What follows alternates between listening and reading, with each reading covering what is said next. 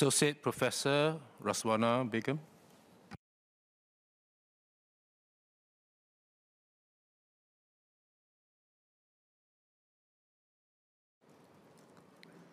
Thank you, Mr. Speaker. I, sir, I support the amendments proposed by this bill. The bill will make timely and necessary improvements to the Child Development Co-Savings Act as we continue to design and implement a Singapore made for families. Since 1987, when Singapore ended its stop at two population policy, a range of pro-natalist initiatives have been introduced. These include paid maternity and paternity leave, childcare subsidies, tax relief, rebates, cash gifts, and grants. Mr. Speaker, I am pleased to note that Singapore currently boasts one of the most comprehensive set of programs and policies in East Asia to promote marriage, increase fertility and birth rates, and provide incentives and support to couples wishing to start or grow a family. Despite these considerable efforts, Singapore is still struggling to encourage couples to marry and, when married, to have children. In 2022, Singapore's total fertility rate was 1.05, the lowest it has ever been. This decline can be attributed to two key factors. First, more people are staying single or getting married later in life. And second, married couples are waiting longer to have their first child and having fewer children overall.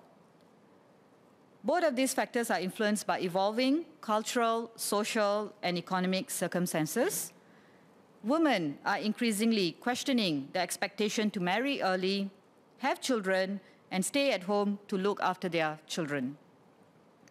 Women are increasingly able to access independent and financially rewarding careers both within and outside the marriage, and women are increasingly aware of the significant cost of raising children.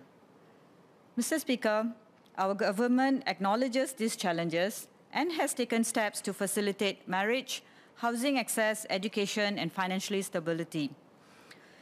These initiatives are particularly vital for women who historically bear child-rearing responsibilities. Gender equality is crucial for Singapore's continued success, as emphasized in the 2022 White Paper on Singapore Women's Development. To achieve this, we must maintain women's rights, make family life enriching, and continuously engage Singaporean girls' and women's perspective. On that note, I would like to highlight a study, The Aspiration of Singapore Muslim Women, carried out by the non-profit organization Singapore Muslim Women's Association, PPIS, in 2021. The study revealed that Muslim women's top family aspirations include work-life balance, financial stability, and ability to raise children well. Mr. Speaker, at this juncture, it's pertinent to mention that I currently serve on the board of PPIS. It is heartening to note that over the years, our government has implemented policies to encourage married persons in Singapore to have more children. As mentioned, I welcome the changes in the bill as it aims to provide additional support to make child rearing an appealing and affordable option for couples. However, I seek some clarifications about some of the proposed amendments. Before I do so, I would like to share my personal experience as a mother who benefited from the Child Development Co-Savings Act.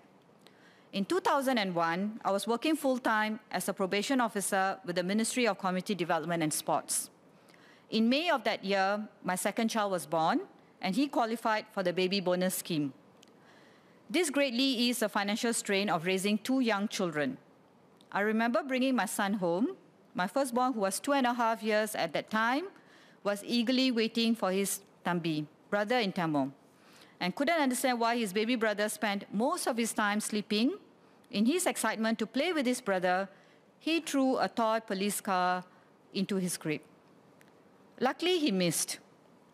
Interestingly, both my boys later completed their national service with the Singapore Police Force, and I believe the toy police car may have played a part in that. As a working mother, it was difficult to supervise and care for two children under the age of three, and keeping them both safe was my utmost priority. My eldest child attended childcare, a direct benefit of the baby bonus scheme, and my mother took care of the baby. I was also very fortunate to have supervisors who believe in measuring performance by outcomes and who allowed me to work from home. This was an immense relief, and I wouldn't have been able to balance my responsibilities as a mother and a probation officer without the support of my supervisors.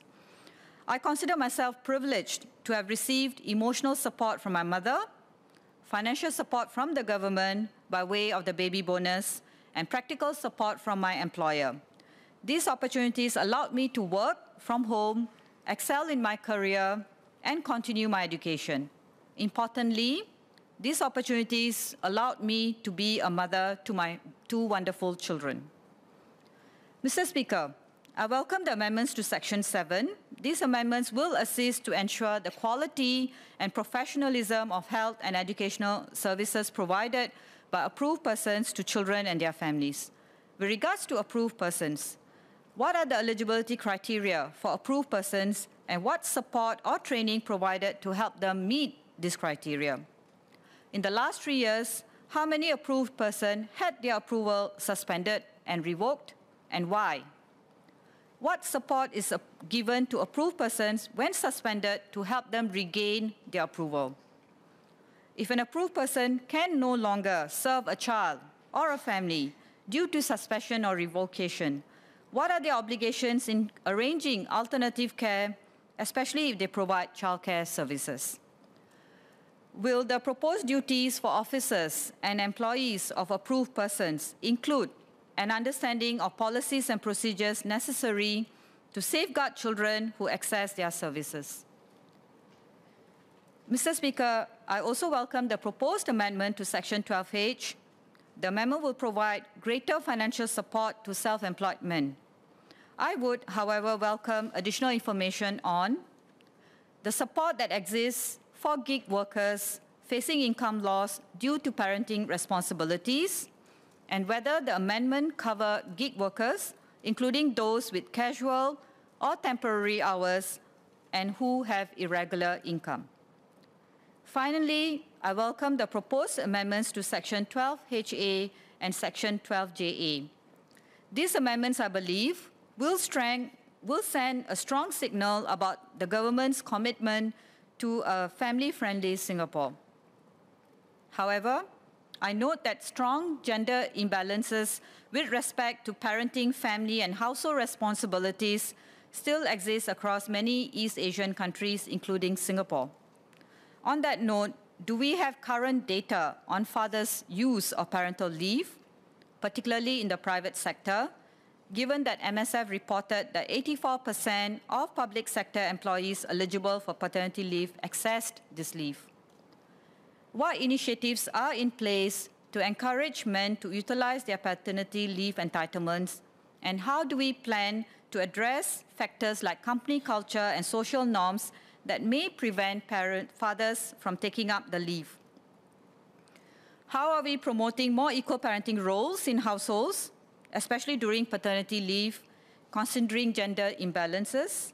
what measures are in place to encourage employers to support family-friendly environment for a healthy, respectful work-life balance. Mr. Speaker, by addressing the concerns raised, I believe we can collectively advance towards achieving the mandate, a Singapore truly made for families. I appreciate members' attention and I would like to conclude by sharing remarks from Deputy Prime Minister Heng Swee Keat during the launch of a Singapore Made for Families 2025 in November 2022. On that occasion, he noted, and I quote, establishing a supportive and adaptable work environment for employees to achieve work-life harmony is not only pro-family, but also pro-business. Workers can balance their work and family responsibilities, are better able to contribute effectively at their workplace. Clarifications notwithstanding, I conclude in support of the bill. Thank you, Associate Professor Razwana, for sharing your story. Indeed, support from all stakeholders uh, is important.